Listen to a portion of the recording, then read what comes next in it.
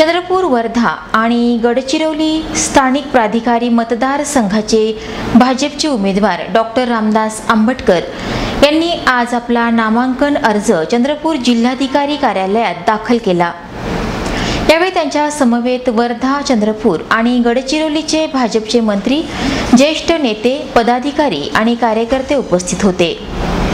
नामांकन अर्ज दाखल केल्यावर आंबटकर यांनी भाजपचा विजय निश्चित असल्याचं सांगितलं.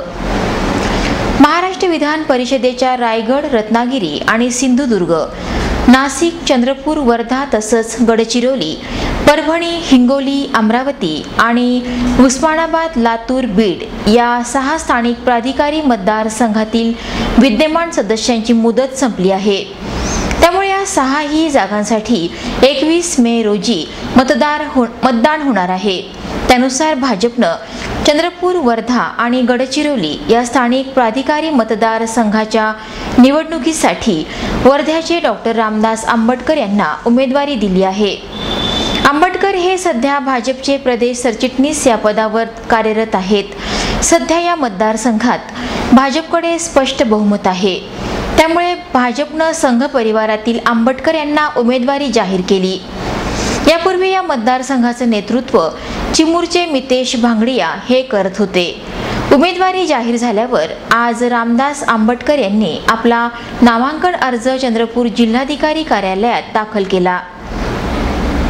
यावेळी त्यांच्या समवेत केंद्रीय गृहराज्यमंत्री हंसराज अहिर गृहराज्यमंत्री रणजित पाटील गडचिरोलीचे पालकमंत्री राजे अमरीशराव आत्राम खासदार रामदास तडस अशोक नेते यांच्यासह वर्धा चंद्रपूर आणि गडचिरोलीचे आमदार भाजपचे पदाधिकारी तसंच कार्यकर्ते उपस्थित होते.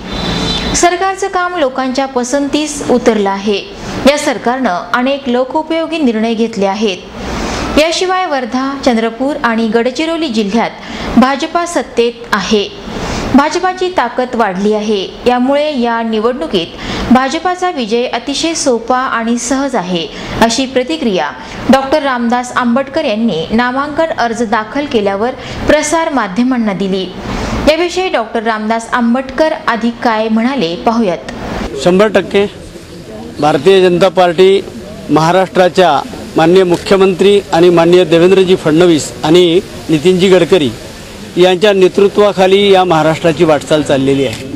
आणि या भागामध्ये या तिन्ही जिल्ह्यामध्ये असलेलं पार्टीचं पाठबळ आणि शक्ती ही मला असं वाटतं की पार्टीला शंभर टक्के विजय मिळवून देणार आहे. आरामात मला असं वाटतं की पार्टीने जी मेहनत केली आहे आणि आजपर्यंत जी स्थिती आहे तर ही ग्राउंडची स्थिती हे स्पष्ट दर्शवते की भारतीय जनता पार्टीचा विजय नक्की होणार आहे. या निवडणुकीत घोडे बाजाराची फार काही शक्यता नाही वाटत. हा कार्यकर्त्यांचा विजय आहे. कार्यकर्त्यांच्या ताकदीचा विजय आहे. कार्यकर्त्यांची वर्षोनवर्ष जिथे जपणूक होते अशी भारतीय जनता पार्टी आहे. एकच उदाहरण नाही तर अनेक उदाहरणं अशी आहेत की ज्याच्यामध्ये पार्टीच्या कार्यकर्त्याचा सन्मान झालेला आहे. त्यामुळं कार्यकर्त्यांमध्ये मोठ्या प्रमाणावर उत्साह नक्की राहणार आहे.